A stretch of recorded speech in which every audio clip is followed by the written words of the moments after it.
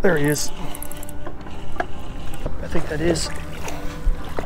There we go. Sometimes you luck into some decent fish. Welcome back, ladies and gentlemen, to another crappie fishing video. Today, I'm gonna show you how I use side imaging to locate brush, rocks, and trees in order to find schools of like buttons. I mean crappie. Crappie, we're finding schools of crappie on the river today. I also want to talk to you about the importance of jig size and fall rates. This little tip in the video is to hopefully put more crappie in the boat. This video is sponsored by Crappie Monster. Be sure to go to crappiemonster.com, use promo code DAVIS, that is D-A-V-I-S, all capital letters, get 20% off your entire order. Today's video, we're to be using the small fry pattern in a few different color patterns. This is that baitfish pattern that crappie love this time of year. We're gonna be talking about how to use side imaging to find these pieces of brush right on the breaks of these channels. Uh, well, it's a, main river channel. There isn't any creeks or anything like that. It's just one big river. And I'm using side imaging to find any type of brush or rock pile that's kind of set up right along the break. That's where I'm finding all these crappie. We're in late July and these crappie are gonna stay here probably until the mid to late September um, before they push out a little bit deeper or they try to find some deeper docks to uh, suspend under. So we're gonna be doing that. And then also I wanna talk about jig sizes because fall rate is super important this time of year to trigger a bite. Um, I went out last weekend and I had to really mix it up between 3 16th ounce jigs to all the way down to 1 16th to try and trigger a bite. So today we're gonna be talking about jig size as well and why that's important. After making a few casts with an eighth ounce jig, I realized quickly the jig was falling too fast in order to trigger a bite from these crappie that were suspended over this rock pile.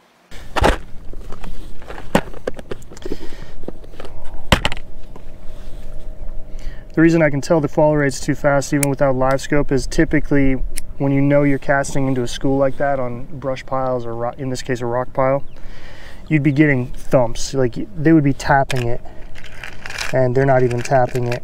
So that that usually means the fall rate's too fast. If you can slow down the fall rate, give them a chance to get a really good look at your plastic or whatever you got tied on. That's gonna help out a lot.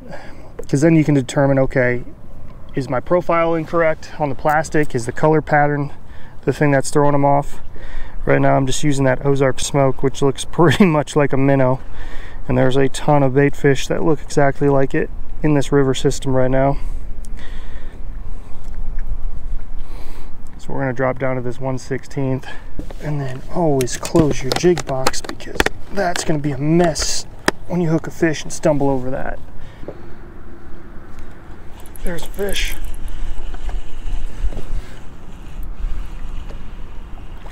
Oh they're walleye well heck with it we're gonna go for walleye right now. I get asked quite often if walleye tastes better than crappie, and let me tell you, you get a bigger fillet on most walleye than you do on crappie, so you can't blame me for trying to chase a couple of these fish and put them in the live well.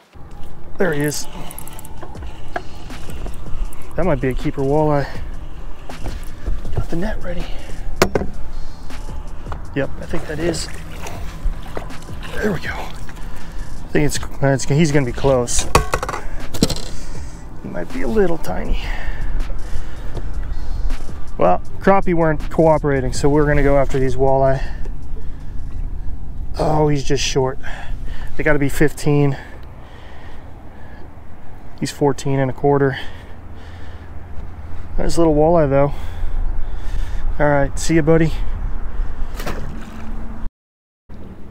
There he is, got him. Oh, it's a crappie. we got a mixed bag of crappie and walleye down there.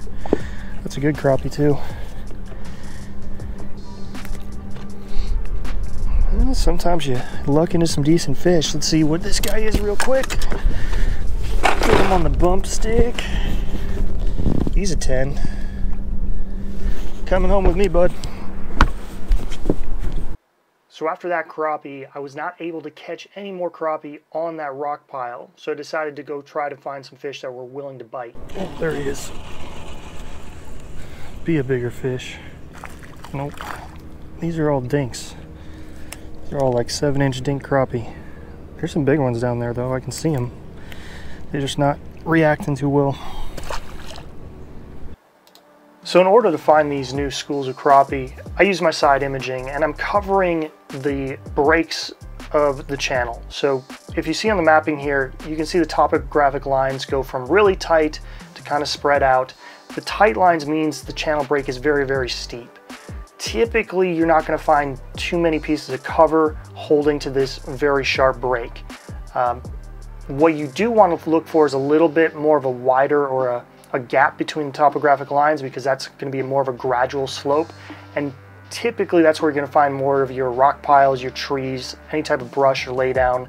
Um, more specifically, if you can find a, a little point like a sandbar or something that sticks out into the main river channel, what happens during the springtime, during the spring floods, that big current push uh, moves dead logs, trees, and they get caught up in the backwater eddy behind these sandbars. So it's on the downstream side of these sandbars or these points that stick out into the main channel.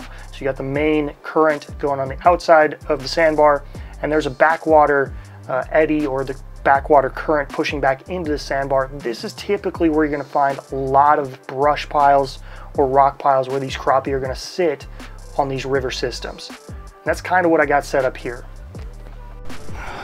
That 1 16th has just got a slower fall rate and it seems that when the, the temperatures start rising, it's easier to get him to trigger a bite on a slower fall rate. There he is, he was running with it. And this might be a better one. No, they're all cookie cutter, seven to eight inches.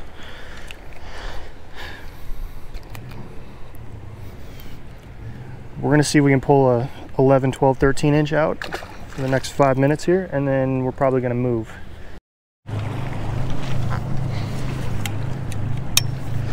All right, well now that we have found our piece of cover that we want to fish on, unfortunately this part of the river is a little narrower and there's seems to be a little bit, a little bit more boat traffic, but there's the tree.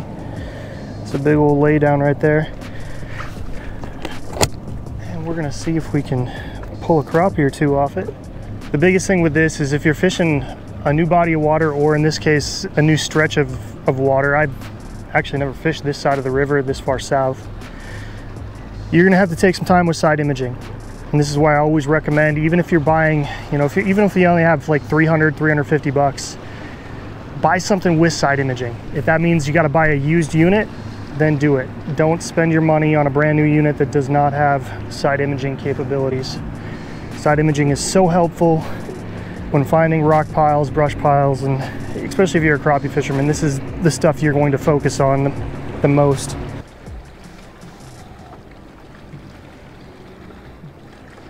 Oh, there he is. Yep. Right to the back of it. They're tighter on the bottom though. Oh, because they're rock bass. Wrong species. But typically that is where you find some crappie on the downstream side of any piece of cover like that. Most of those fish, I don't know if they're all going to be rock bass, but most of them are on the back side of this laydown. Make a few more casts in here. If we don't pull a crappie out, we'll move. Well, that's going to wrap it up for me today. Be sure to use some of these tactics when you're fishing a river system. Try to look on the downstream side of any points that stick out. Use side imaging to find rock piles, brush piles, laydowns. That's where you're going to find these crappie. Be sure to check out crappiemonster.com. Use promo code DAVIS, that's D-A-V-I-S, for 20% off. If you got any comments or questions, post them in the comment section below, or you can message me on either Facebook or Instagram. I always appreciate hearing from you. Good luck on the water.